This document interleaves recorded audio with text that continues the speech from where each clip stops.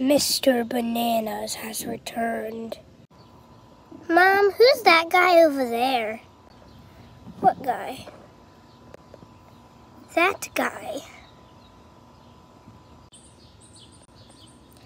Do you have any bananas? Um, no, I don't, but I have an apple.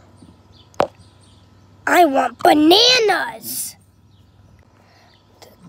I'm sorry, sir, but I don't have bananas.